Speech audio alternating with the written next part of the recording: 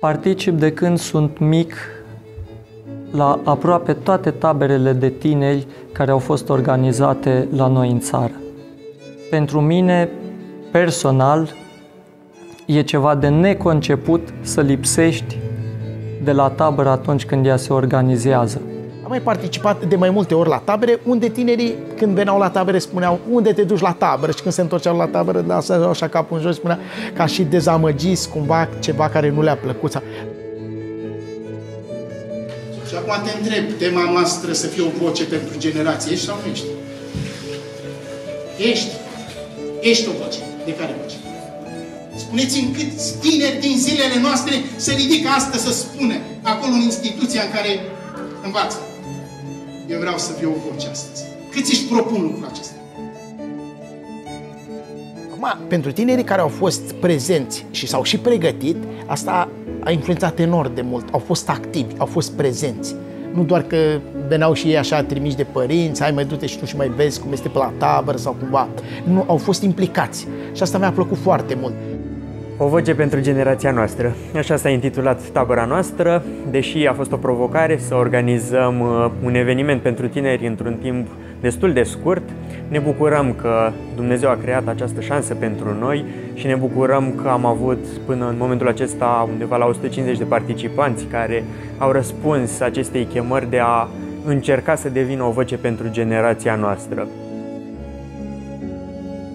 Mi-a plăcut modul tinerilor de a aborda subiecte, subiecte care ne ridică, care ne ajută să fim cât mai plăcuți înaintea lui Dumnezeu.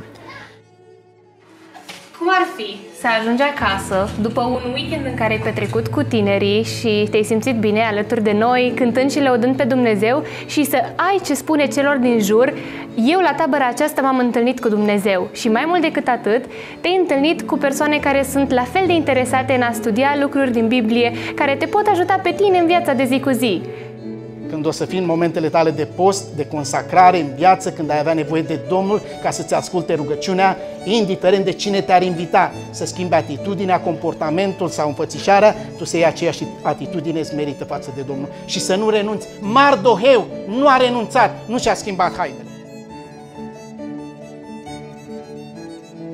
Aici creezi relații, te poți întâlni cu Dumnezeu și poți să înțelegi cuvântul care este transmis.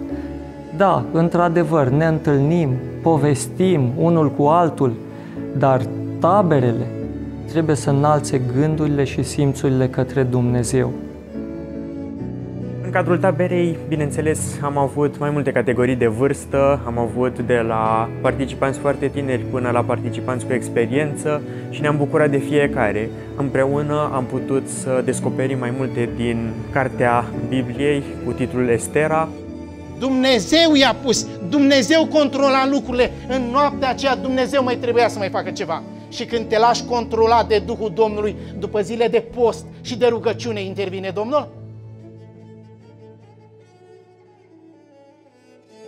Aș sugera la toți tinerii care nu au avut posibilitatea să vină de data asta, ca pentru viitor să nu rateze.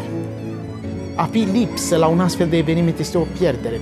Pe lângă faptul că aveți posibilitatea să vă cunoașteți, este un câștig enorm. Să poți să cunoști tineri de vârsta ta, să vezi modul lor de gândire, să te împrietenești cu ei și pe deasupra de toate să poți să fii o voce pentru generația ta. Mai mult decât atât, probabil îți place muzica. Cu siguranță că în timp ce mergi la facultate sau la liceu, stai cu căștile pe urechi. Ei bine, aici vei putea avea ocazia să asculți o muzică diferită, o muzică specială și poți chiar tu să lauți pe Dumnezeu. Așa că te aștept să vii alături de noi la următoarea tabără. Mă simt onorat și sunt recunoscător lui Dumnezeu pentru faptul că am avut și am ocazia să mă alătur tinerilor în cântare și să particip cu ei prin cântări.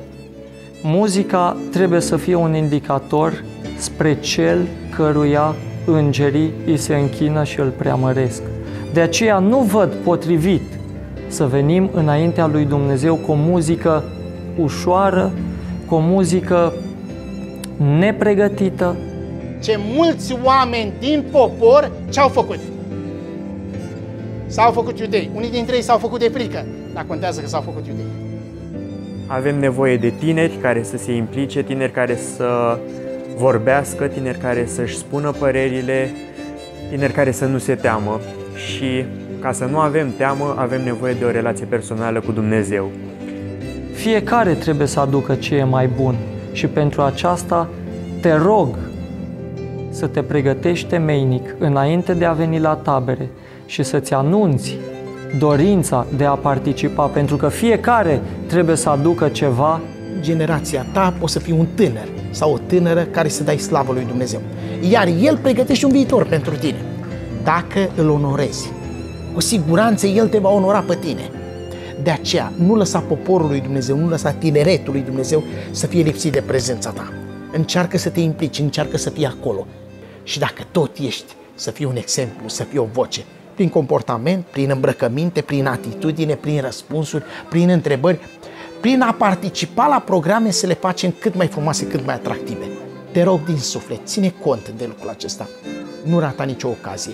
Vino, implică-te, ajută pe Dumnezeu în momentele acestea, în grupul tău de tineri, sub influența pe care Domnul ți-a dat-o și cu siguranță Domnul te va ajuta atunci când vei avea nevoie de El. Te aștept și sunt sigur că te așteptăm cu toții cu drag și cu cea mai mare căldură, ca astfel să ne pregătim pentru întâlnirea cu Domnul Isus.